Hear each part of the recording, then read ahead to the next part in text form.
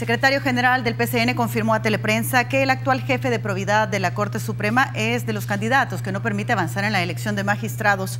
A Carlos Pineda se le acusa de tener conflicto de intereses por estar al frente de las investigaciones por enriquecimiento ilícito. Comenzamos. Carlos Pineda es de los primeros en la lista de cuestionados por estar aspirando a una magistratura, pero aún así goza de respaldo entre varios partidos políticos. Manuel Rodríguez confirma que el jefe de Providad es de los candidatos polémicos que mantienen frenado el acuerdo.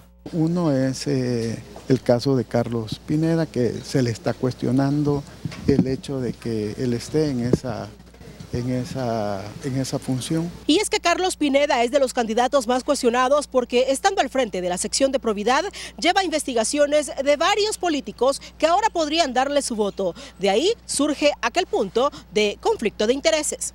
Pero hay un señalamiento que por el hecho de ser miembro de la, de la, eh, de la sección de probidad, ¿verdad? pudieran haber algunos eh, eh, funcionarios que puedan estar interesados en que él, resulte este, electo, digamos, para, para la sala. El resto de partidos prefieren no hablar de nombres, sí aceptan que el tema es la calidad de los magistrados que se quieren poner. No podemos tener un efecto regresivo en lo que hemos logrado en cuanto a los niveles de independencia de la sala de lo constitucional. Podemos aspirar a más, pero no podemos permitirnos como país retroceder. Medardo, pero hay candidatos como punto de honor de algunos partidos que están entrampando el proceso. Mire, eh, han, como digo, eh, han habido nombres que se han tirado a la mesa y, digamos que hay como sostenimiento de cada quien, de, la gente que, que quiere Estamos en ese momento. Mientras tanto, este miércoles Arena se reunió con el FMLN como parte de las bilaterales para alcanzar un acuerdo. Los acuerdos que podamos, que podamos llegar entre todos, pero, pero como digo, quiero reiterar que sí estamos, estamos conscientes de la importancia de esta elección.